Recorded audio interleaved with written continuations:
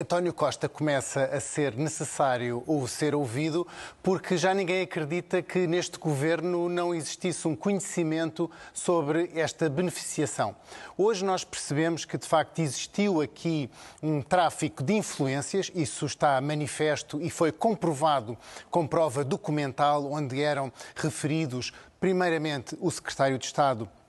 e depois outras individualidades e, portanto, também a Mas mãe mais nenhuma que do foi governo, hoje ouvida, secretário de Estado. também a mãe que foi hoje ouvida eh, avançou em vários momentos que tinha todas as autorizações do governo, até à mais alta instância, que reconheciam-lhe o direito de ter acesso a este medicamento dos 4 milhões de euros e também a cadeiras de rodas que ascenderam ao valor de 64 mil euros. E, portanto, nós vemos que, provavelmente, não foi a secretária, nem sequer o secretário de Estado e, quiçá, também não a ministra da Saúde a agir de forma isolada, mas o próprio chefe de governo, que nós sabemos tem uma forma de governar bastante controladora e até com, bastante com bastantes comunicações por WhatsApp sobre os mais diversos assuntos, poderia estar também envolvido. Além disso, nós também queremos saber qual é a opinião de António Costa sobre a participação e sobre a responsabilidade política das pessoas que estavam sob a sua tutela neste caso. Sabemos a Deixe-me só situação. sublinhar que, de facto, é necessário Rapidamente, para ouvir António. Costa,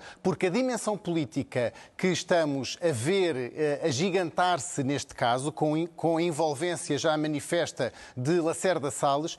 põe, obviamente, em perspectiva a envolvência também da ex-ministra da Saúde, agora eurodeputada, e também, obviamente, do eh, ex-chefe de governo do primeiro-ministro António Costa. E, portanto, é- é- foi com essa proposta que o Chega avançou hoje em sede de Comissão Parlamentar de Inquérito, foi acompanhado por eh, outros deputados que votaram favoravelmente e, portanto, é absolutamente eh, essencial que consigamos ouvir António Costa nesta comissão.